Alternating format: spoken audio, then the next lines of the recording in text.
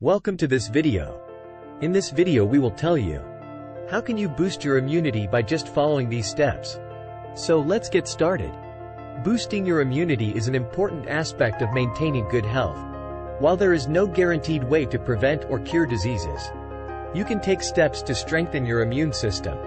Here are some strategies to boost your immunity. Eat a balanced diet. Include a variety of fruits, vegetables, whole grains, lean proteins, and healthy fats in your daily meals. These foods provide essential vitamins, minerals, and antioxidants that support your immune system. Stay hydrated. Drink an adequate amount of water throughout the day to keep your body hydrated.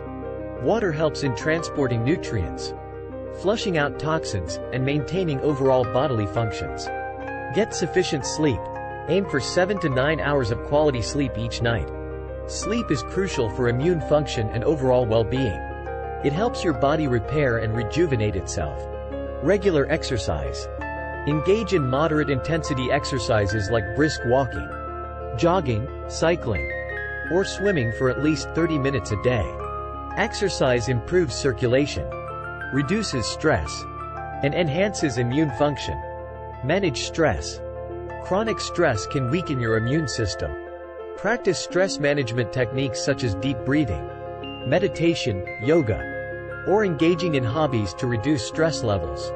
Maintain a healthy weight. Obesity can impair immune function. By maintaining a healthy weight through a balanced diet and regular exercise, you can support your immune system. Avoid smoking and limit alcohol. Smoking and excessive alcohol consumption can weaken your immune system. Quit smoking, and if you drink alcohol, do so in moderation. Stay hygienic.